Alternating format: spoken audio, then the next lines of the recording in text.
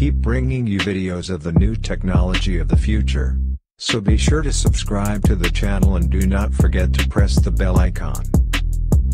Do like and share the video. So let's start. Hey guys, Thunder E here and welcome to my gaming review of this bad boy. I'm talking about the Razer Blade 17 Pro. Now I'm not going to waste any more time so let's start gaming.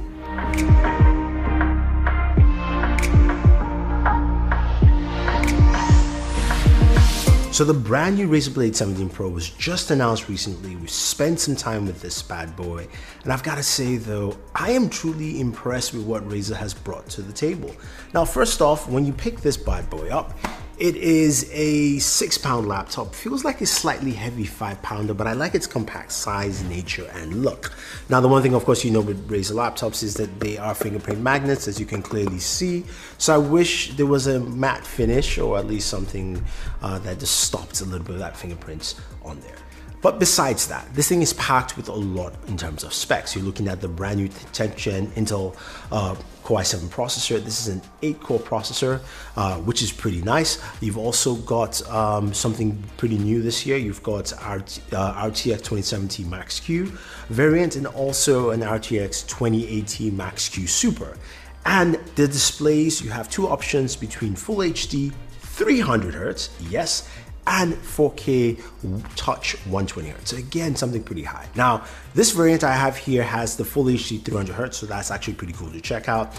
And also, it's got customizable internals. Pretty easy to open uh, where you can of course go ahead and add more storage via NVMe or swap out the other one so they actually two NVMe slots and also change and upgrade your your RAM which actually starts at 16 gigabytes. Now I like this because if you're like me and you're playing a lot of Warzone right now you just got an update for Warzone and if you also have Call of Duty uh, as well it's 200 gigabytes Think about it. You can't have like a 200 gigabyte NVMe.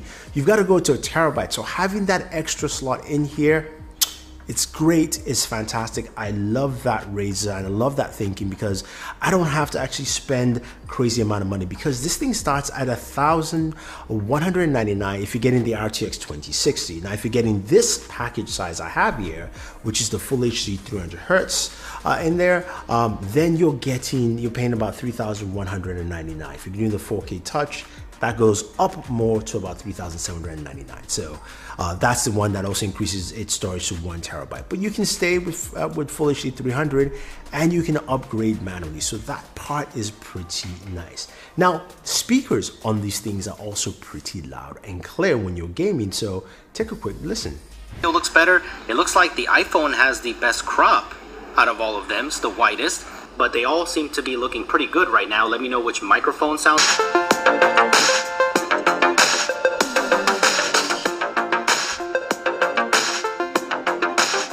So speakers are good.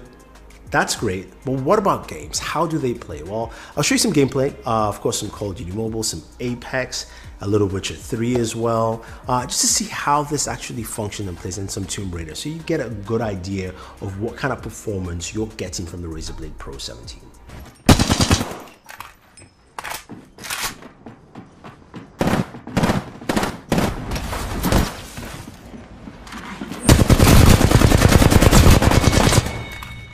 Mastiff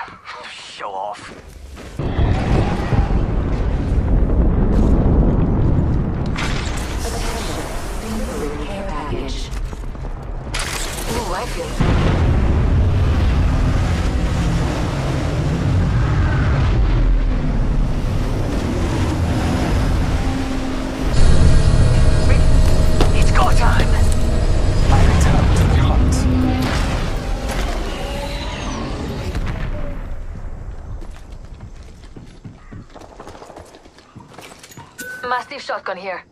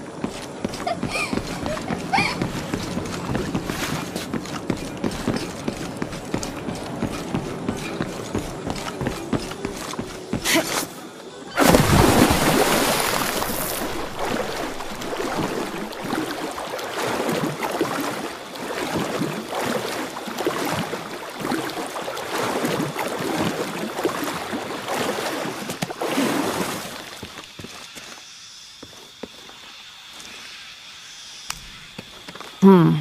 Can't figure out the dialect. I must be missing something.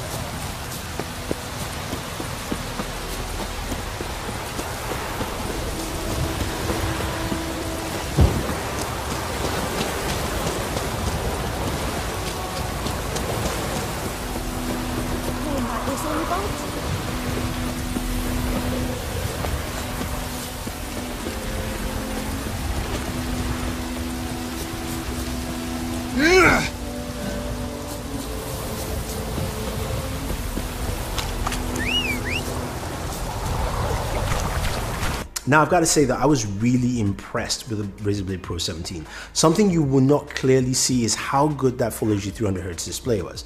Now, I have not used a 240Hz display for a good length of time to do any review, especially on the laptop. I have used a 120Hz display, and I can tell you there is a huge difference from moving from 120 to 300. I don't know about 240, but it is a huge difference, and I really enjoyed it. And the fact that my monitor right here, my gaming monitor, is 144 hertz display.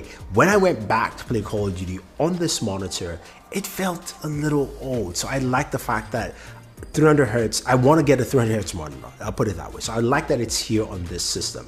But because you're using a 300 hertz display, you're going to use a lot of power.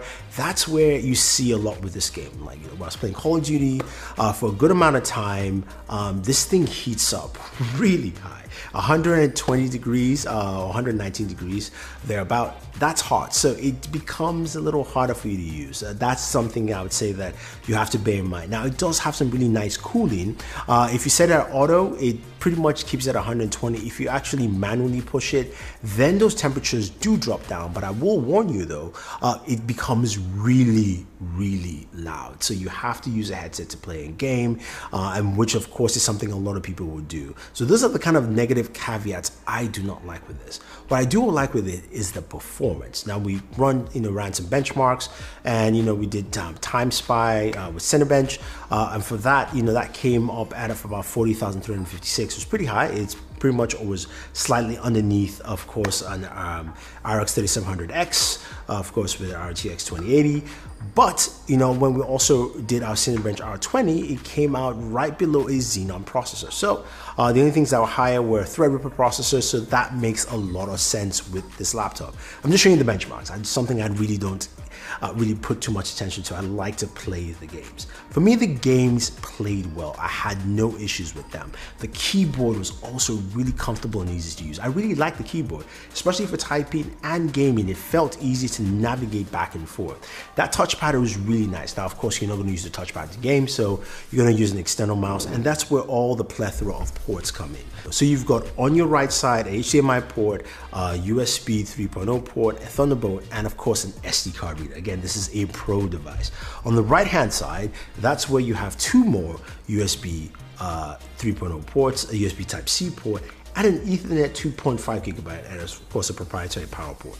That is cool. So you've got enough ports for all the things you need. Now this uses a 70.5 watt uh, battery, and of course the charger is a little bit larger, but it's kind of trimmed down in size over the years. So I do like that with this. I think overall, a lot of people will like this laptop. This is more of a device if you're going, trying to go away from, of course, a desktop experience. You want something that has performance you can take with you on the road. I like it. I like the performance. I like what it brings to the table. I also like the fact that you can go away to, you know, a 2080 uh, Super Max-Q. So that, of course, is pretty dope.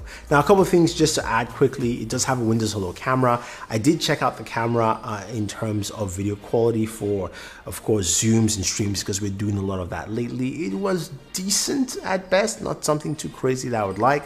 Uh, the microphone was also okay. So I'll just bear that in mind. It is passable, but you definitely need a lot forward light for your video conferencing if you need that. So this is a quick example of what you get from the webcam of the Razer Blade Stealth 17. It is a 720p webcam. Uh, so if you're looking to do video calls, you need ideal lighting. Actually, I've got sunlight coming to my left, but you probably need more lighting to actually accentuate this well. And also a good idea of what the microphone is like using just the built-in mic on the laptop and not a headset. So put that in mind and uh, let's continue.